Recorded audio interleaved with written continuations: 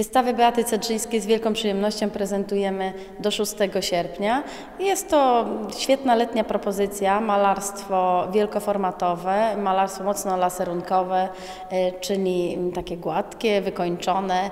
E, myślę, że spodoba się nawet e, niewybrednym czy wybrednym amatorom sztuki. Beata Cedrzyńska wygrała u nas bardzo ważny konkurs, Ogólnopolski Przegląd Malarstwa Młodych w 1999 roku i w 2001 roku w efekcie tego miała swoją pierwszą indywidualną wystawę w Legnicy. Teraz gościmy ją po kilkunastu latach, kiedy jest już dojrzałą artystką z potężnym dorobkiem, e, kiedy od paru lat tkwi w cyklach poświęconych e, ludzkiej twarzy, e, czy takim metafizycznym problemom człowieka, osobowości.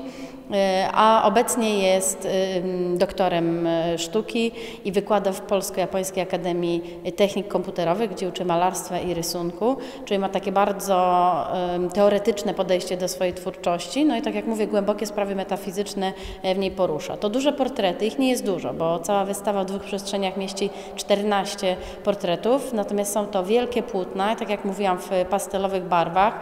To są płótna monochromatyczne, czyli jednokolorowe, dwu-, trzykolorowe, ale niesamowitą siłę mają oddziaływania na naszą e, e, wrażliwość.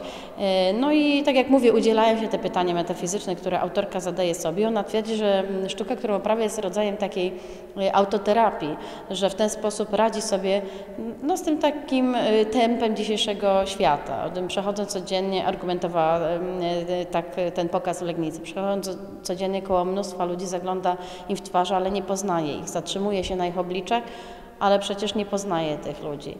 I właśnie w ten sposób, że powiela e, te twarze, że e, drobne detale powiększa e, bardzo mocno, że ucieka nawet w abstrakcję, w ten sposób radzi sobie właśnie no, z takim natłokiem tych spojrzeń i, i chciałaby się powiedzieć wielością istnień w dzisiejszym świecie.